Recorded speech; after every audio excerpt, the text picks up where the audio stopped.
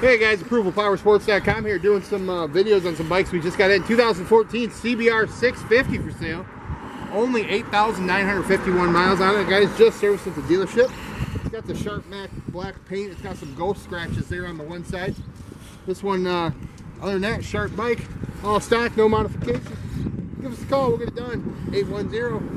810-648-9500.